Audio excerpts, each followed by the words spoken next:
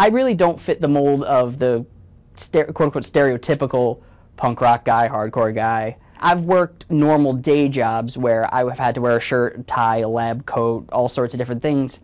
And then people, you know, when I try to tell people what I do outside of that, you know, they don't expect it because sometimes sometimes the shows can be a little rough and I'd come in with, you know, a bump, a scratch, a black eye occasionally and people are like, what happened? And then I'd have to explain it and it just sort of people would go, Hmm?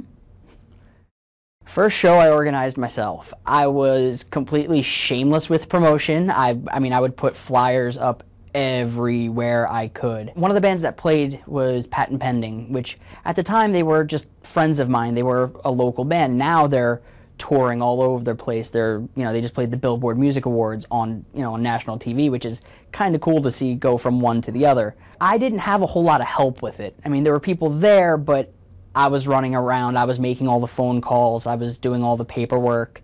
There were 293 people that came to that first one. That's a number I will never forget because I'm like, you know what? I can do this.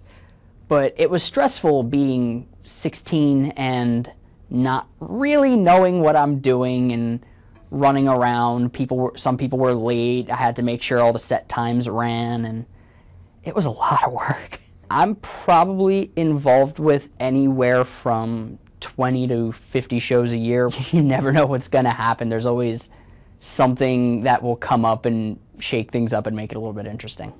Mother's Day 2008. I was running a little bit late. I'd gone out to breakfast with my mom, and it was an afternoon show, so I had to kind of go right from one to the other. I got pulled over.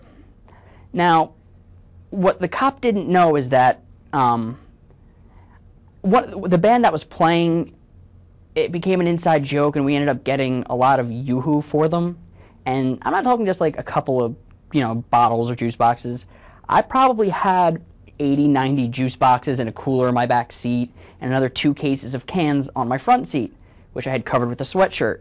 He decides to ask what was in the cooler, thinking it was going to be alcohol of some sort. I say, "Well, you're not going to believe me if I tell you." He's like, "What's in? What's in it?" I'm like, "About 90 juice boxes, 80 juice boxes of yoo-hoo." He's like, come on, seriously, what's in it? I'm like, no, really, that it's it's 80, 90 juice boxes of YooHoo.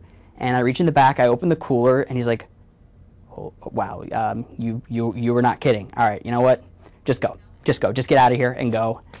And the day kind of went from there. That sort of set the bar high for weird things. Uh, later that day, I ended up wearing a Curious George costume, handing out this YooHoo to people. So like I said, there's always something a little bit different that happens. A lot of people have a certain view of the punk rock and hardcore scene. You know, they hear about what happens on the news at you know at certain times. Um, you know, they see all the tattoos, all the, you know, they hear the you know the quote unquote scary music to the people who don't know what's going on, and they don't know what they, they don't see that there's there's a certain friendship with it. I mean, you may not know these people, but you're they're they are there for the same reason you are, and you're into the same music, and it it's just it's it's it's a family.